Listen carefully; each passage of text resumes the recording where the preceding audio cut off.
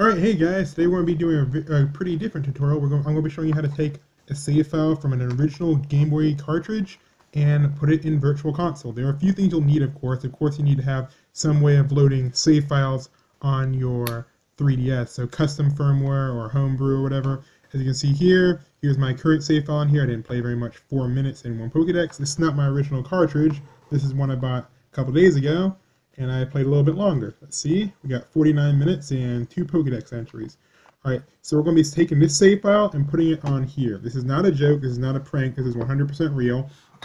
But you will need a few more things. You will also need some way to transfer your save file from the cartridge. So today we're going to use the cheapest possible method, which is the Monster Brain. So we use a Monster Brain, and, and that's $10 with this, which is about $40. So yes, this will cost you $50, but you'll be able to back up all your um, all your Game Boy games, and you'll be able to also have archived copies of them, and you'll be able to play them on your 3DS. So you don't need these cartridges anymore. Uh, let's just go ahead and get started. The first thing you want to do is take your cartridge and load up the Monster Brain. This will work with any game that uses um, battery-backed saves, so like Pokemon, um, Zelda, stuff like that.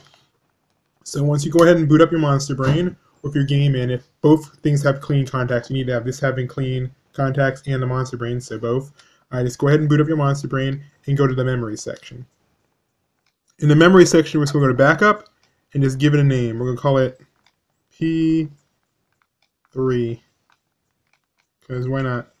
Alright, and let's go down and begin backup. Press enter. Alright, and now it's backed up. So now it's backed up to the Monster Brain, but unfortunately, since the Monster Brain doesn't have any USB ports or anything, that's why we need this $40 USB smart card. Yes, there are other ways of doing this, but this is the cheapest method I've found so far, is using these two things in conjunction with each other. So, I mean, you could always build your own um, ripping rig, but that would cost time and money, and I don't have the technical know-how to do that. Alright, so once we have our GB smart card in, you have to have some type of game flash on this thing. You can't just use this right out of the box. So, um, event uh, pretty soon I should have up my video of how to flash these. Uh, so just flash any game to it. Doesn't need to be Pokemon. For example, I have Mario in, on here right now. Uh, Mario 2. Good game, good game.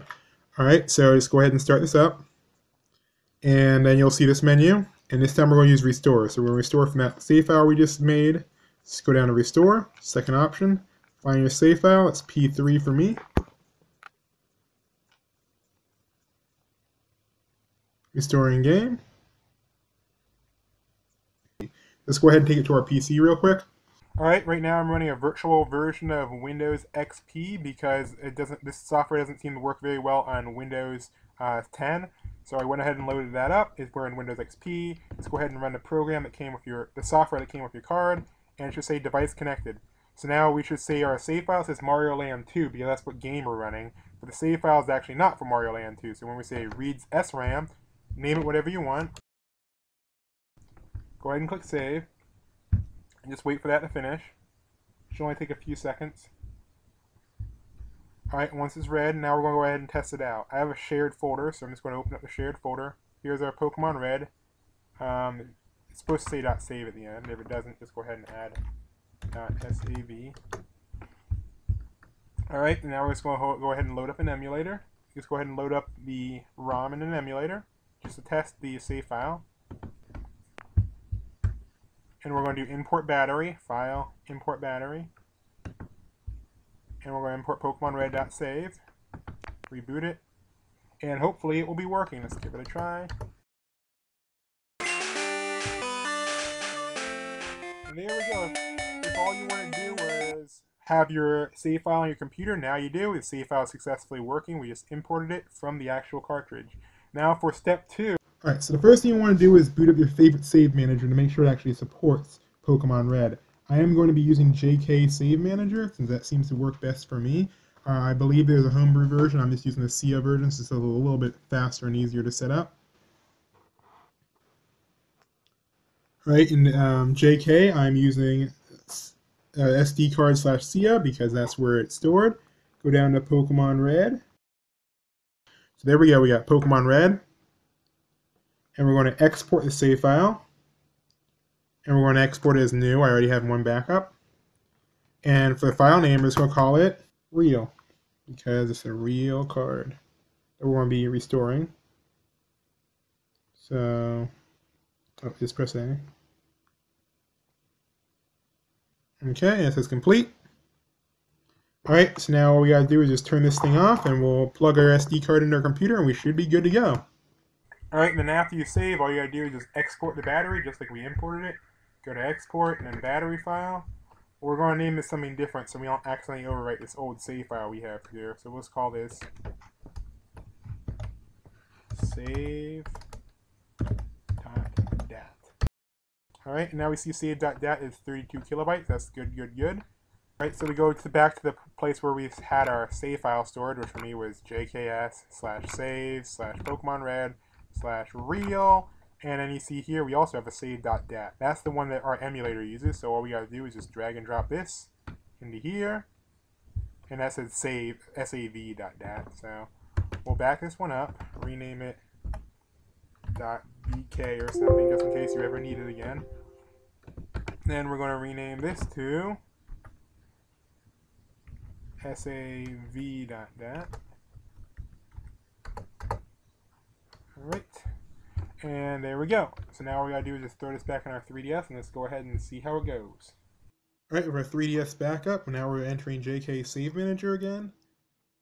And this time we'll use the restore option. So we go down to, we go to the same setup we did last time. We do 3DS, uh, SD card slash CIA. Scroll all the way to whatever game you're looking for. Pokemon Red. And we're going to use import save and we'll use real, so that's when we overwrote.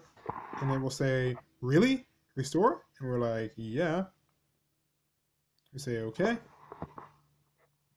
Now all you have to do is back out of this, just press B a bunch of times, and eventually it will take you out. Or if you're using the homebrew, just return to menu. Um, now we go to our game, which is Pokemon Red. Let's go ahead and boot it up.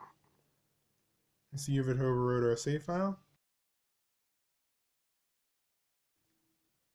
And there we go.